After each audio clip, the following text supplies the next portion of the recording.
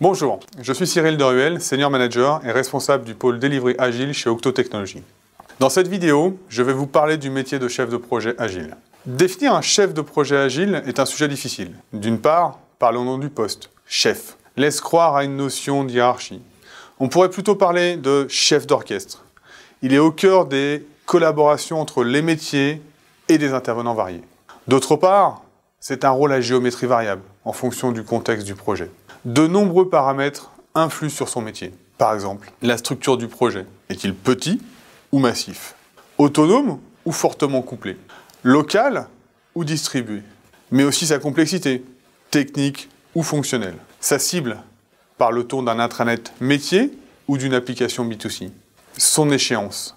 Le projet a-t-il une contrainte de date forte? Comme par exemple la mise en production d'une application qui doit sortir pour les Jeux olympiques, ou encore l'environnement humain.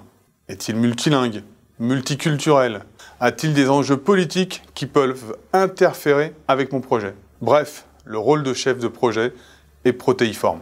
Ces compétences seront sollicitées parfois en largeur, favorisant les généralistes, parfois en profondeur, en préférant les spécialistes, et parfois les deux. L'éventail peut être très large et l'expérience est déterminante.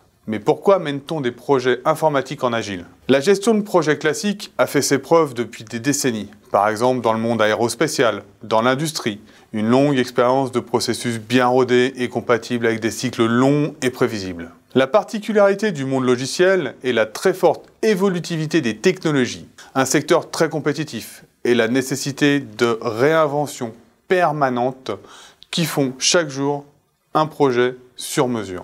Pour réussir, il faut être capable de faire de la qualité dans un contexte toujours nouveau. Pour cela, l'agilité propose de se concentrer sur la valeur produite, c'est-à-dire la valeur réelle apportée à l'utilisateur, et non pas à chercher à se couvrir derrière un périmètre fonctionnel rigide, inutile et large.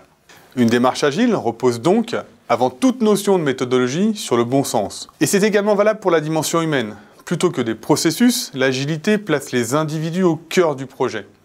Des personnes qui prennent du plaisir à fabriquer un produit ensemble plutôt que des ressources qui n'ont d'équipe que le nom. Ça semble évident, non?